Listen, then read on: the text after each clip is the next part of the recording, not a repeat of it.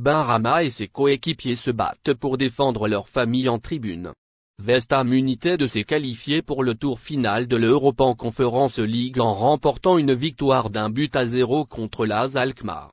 Cependant, la fin du match a été marquée par des incidents violents, lorsque des supporters masqués ont tenté d'attaquer la section contenant les supporters anglais, présents, pour soutenir leur équipe. Des supporters du club anglais ainsi que certains joueurs de l'effectif, parmi eux Saïd Benrahma, se sont opposés aux ultras de l'AS Alkmaar. Ces derniers tentaient de rejoindre les escaliers menant au siège où se trouvaient les familles des joueurs de West.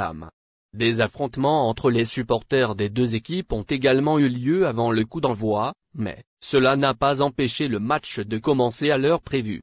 Un record européen pour le joueur Le joueur algérien est actuellement en très bonne forme. La semaine dernière, lors du match aller face à la même équipe, il est devenu le quatrième joueur à marquer lors d'une demi-finale de compétition européenne. Il a rejoint Sofiane Vgouli, Raïd Ghazal et Riyad Mahrez dans ce groupe prestigieux, plus qu'une seule marche à gravir pour son équipe pour soulever ce trophée. Benrahma a porté son total de buts à 11 cette saison dans toutes les compétitions. Il a marqué 6 fois en Premier League, 2 buts en FA Cup et 3 buts en Ligue de conférence européenne.